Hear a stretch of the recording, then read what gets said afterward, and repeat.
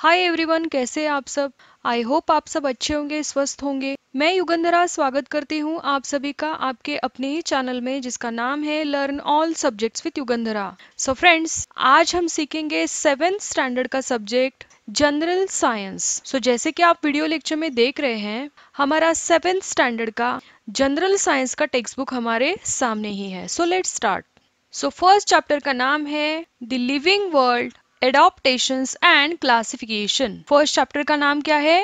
The living world adaptation and classification a great variety of plants is found on the earth तो देखिए अर्थ पर, पृथ्वी पर अनेक प्रकार की वनस्पतियाँ पाई जाती है प्लांट्स पाए जाते हैं। Some plants have colourful flowers कुछ प्लांट्स के कलरफुल फूल होते हैं फ्लावर्स होते हैं। Some plants grow in water, whereas some are to be found in deserts which have a scarcity of water. It means कुछ प्लांट्स कुछ वनस्पतियाँ वाटर में मीन्स पानी में पाई जाती है तो कुछ वनस्पतियाँ पानी के अभाव वाले डेजर्ट्स मीन्स मीन्स पानी के अभाव वाले मरुस्थली प्रदेशों में पाई जाती है डेजर्ट्स में पाई जाती है। Some plants are found only in snowy regions और कुछ वनस्पतियाँ, कुछ प्लांट्स स्नोई रीजन्स में पाए जाते हैं। Some plants can not be seen without a microscope whereas some are huge in size तो कुछ प्लांट्स माइक्रोस्कोप के बिना दिखाई नहीं देती तो कुछ ह्यूज इन साइज़ होती है।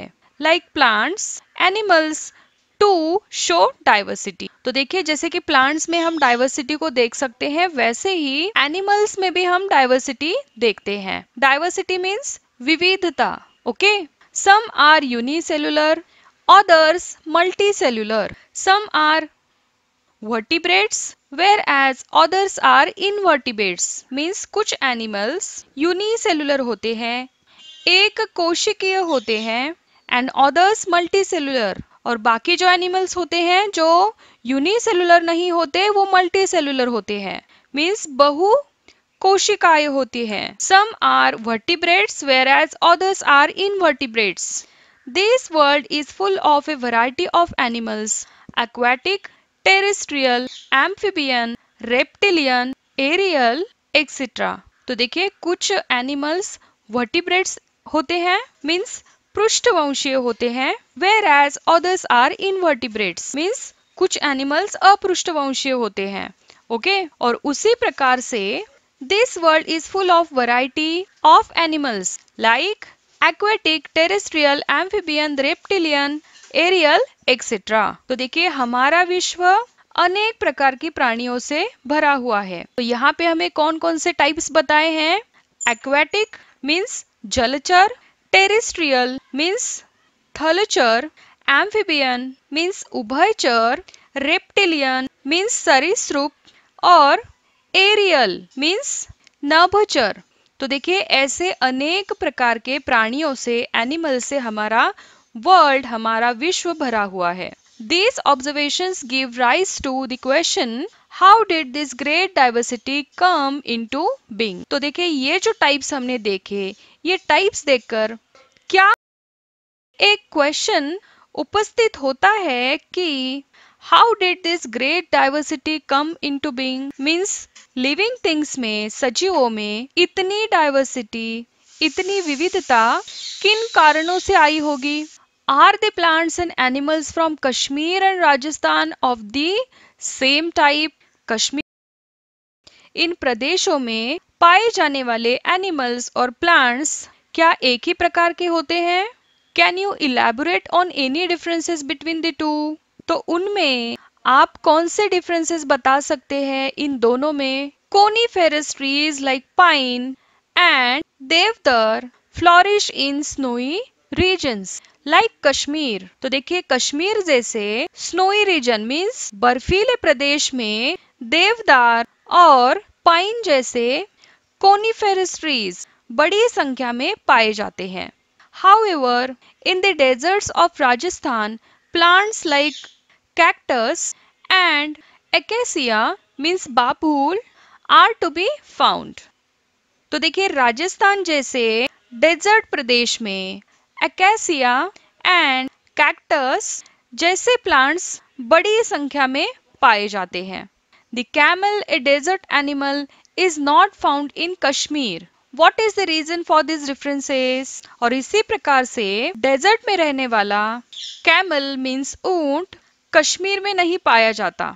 What is the reason for this differences तो इसका रीजन क्या है? तो देख सकते हैं, यहाँ पे हमें पिक्चर 1.1 में डेजर्ट में जो प्लांट्स पाए जाते हैं, उनकी हमें फ़ोटो दी है और कुछ एनिमल्स के भी हमें फ़ोटो दिखाई दे रहे हैं। सो so, अब हम इसका डिटेल में स्टडी करेंगे. सो फ़र्स्ट पॉइंट है अडाप्टेशन मीन्स अनुकूलन okay gradual changes occur in the body parts and also in the behaviour of organisms which helps them to adjust to their surroundings तो देख सकते हैं प्रत्येक लिविंग थिंग्स या तो प्रत्येक सजीव जिस सराउंडिंग में जिस परिसर और वातावरण में रहता है उससे एडजस्ट होने के लिए उसके बॉडी के ऑर्गेनिजम्स में और जीवन यापन की पद्धति में टाइम के अनुसार, समय के अनुसार such a changes are called adaptations they take place over a long period of time तो क्या कहा है?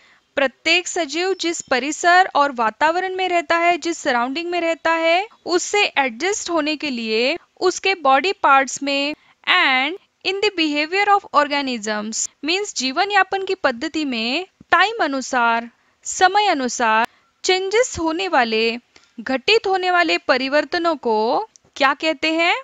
एडाप्टेशन कहते हैं मीन्स अनुकूलन कहते हैं ओके नेक्स्ट हमें यहाँ पे एक चार्ट दिया है एडोप्टेशन इन प्लांट्स तो अब हमें प्लांट्स में जो एडोप्टेशन होता है वो हमें देखना है। Observe and complete the chart. Include other plants from your own region to it means हमें ऑब्ज़र्व करना है और ये चार्ट कंप्लीट करना है. आपके एनवायरमेंट में, आपके ओन रीजन में पाई जाने वाली जो वनस्पतियाँ होती है, जो प्लांट्स होते हैं, हमें इनके एग्जाम्पल्स यहाँ पे देने हैं. तो देख सकते हैं हम यहाँ पे चार्ट देखिए फ़र्स्ट एग्ज़ाम्पल हमें क्या दिया है? प्लांट लोटस तो लोटस का जो प्लांट होता है उसका आवास कहाँ पे रहता है? तो ये एक्वेटिक होता है इट मीन्स ये पानी में रहता है। इसीलिए हैबिटेट हमें क्या बताया है? Aquatic next type of root तो इसके रूट का टाइप कौन सा रहता है?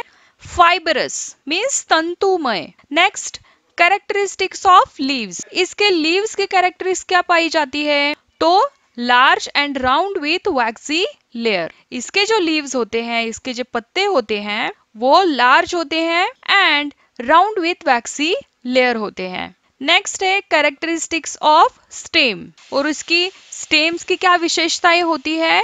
तो उसके स्टेम्स हॉलो एंड फ्लेक्सिबल होते हैं ओके okay? तो इसी तरह से आप अपने सराउंडिंग में नेक्स्ट जो टू एग्जाम्पल्स दिए हैं कैक्टस एंड बनियान ट्री इन दोनों का ऑब्जर्वेशन करके ये चार्ट फिलअप कर सकते हैं ओके नेक्स्ट हम देखेंगे adaptation in aquatic plants means जलीय प्लांट्स का अडॉप्टेशन तो ट्राई दिस में हमें क्या बताया है?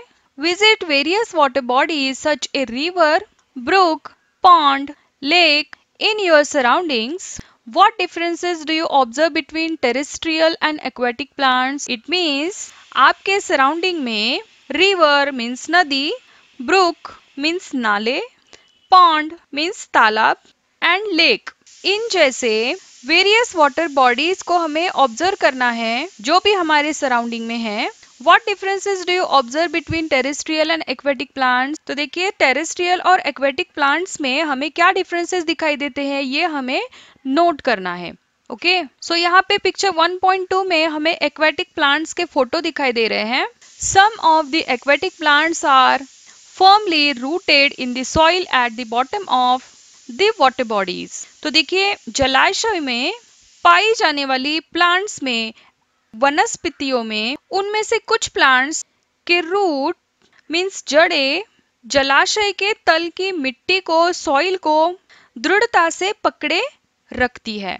Their stems are submerged while leaves and flowers float on the surface और उनके तने स्टेम्स मीन्स तने वाटर में पानी में डूबे हुए और उनके लीव्स और फ्लावर्स पानी पर फ्लोट करते हैं मीन्स तैरते रहते हैं However, some plants are entirely afloat. Their roots are not anchored in the soil.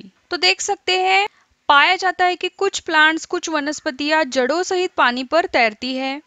The surface of leaves and stems of many aquatic plants are covered with a waxy layer leaves of some aquatic plants are thin and slender like a rib this shape help them to withstand fast currents of water air spaces in stems and petioles of aquatic plants are useful for floating in water तो देखिए, इसका meaning क्या है? जैसे कि आप यहाँ पे पिक्चर में देख रहे हैं कि अधिकतम जलीय वनस्पतियों की लीव्स मीन्स पत्तियों और तनों में मीन्स स्टेम्स में मीन्स पत्तियों और तनों जैसे अंगों पर वैक्सी लेयर मीन्स मोमयुक्त पदार्थों की पतली लेयर होती है।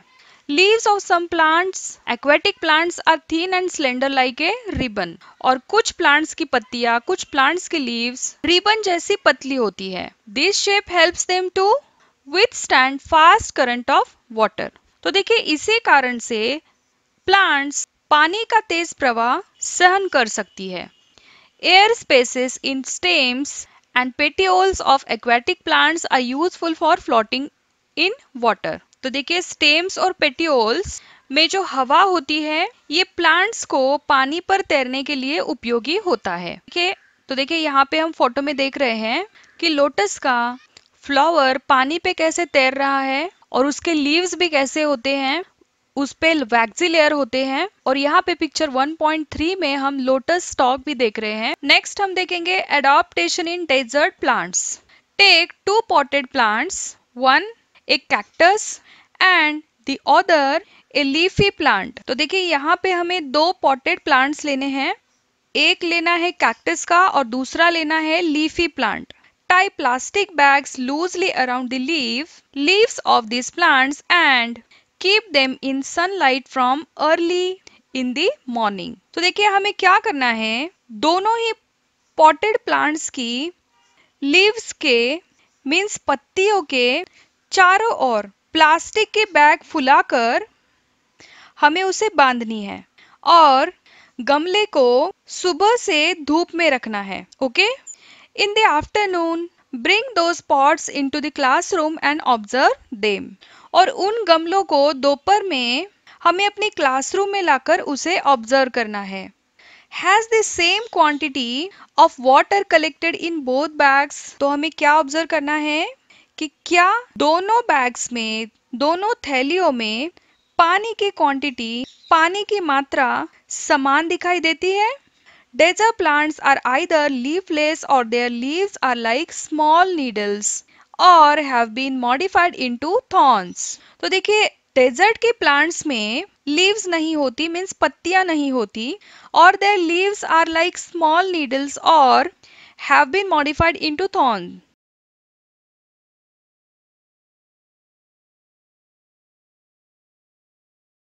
means snowy regions में, हिम प्रदेश में जो प्लांट्स होते हैं, उनका हमें अडोप्टेशन देखना है। In what way are sloping branches useful to plants in a snowy region means हमें यहाँ पे क्या पूछा है? बर्फीले प्रदेश की वनस्पतियों में स्नोई रीजन्स की प्लांट्स में, उनकी स्लोपिंग ब्रांचेस का क्या उपयोग होता है? So Plants of snowy regions mainly include conifers like deodar and pine तो देखिए स्नोई रीजन की प्लांट्स में प्रमुख रूप से देवदार और पाइन जैसे कोनीफेरस प्लांट्स का समावेश होता है। These trees are conical in shape due to their sloping branches तो देखिए, उनका आकार कॉनिकल इन शेप मीन्स शंकु जैसा होता है। तो देख सकते हैं यहाँ पे फ़ोटो में हमें दिखाई दे रहा है कि इनका आकार शंकु जैसा कैसे दिखता है कॉनिकल इन शेप कैसे दिखाई देता है। Okay? In the heavy snowfall and extreme cold in this regions, their conical shape prevents the snow from accumulating on the tree and the thick bark helps the tree to withstand the cold. इसका meaning क्या है? तो देखिए, उनके leaves की रचना, उनकी branches की रचना sloping होती है। और इन स्नोई रीजन्स में बहुत ही स्नोफॉल और एक्सट्रीम कोल्ड मीन्स अधिक ठंड होती है।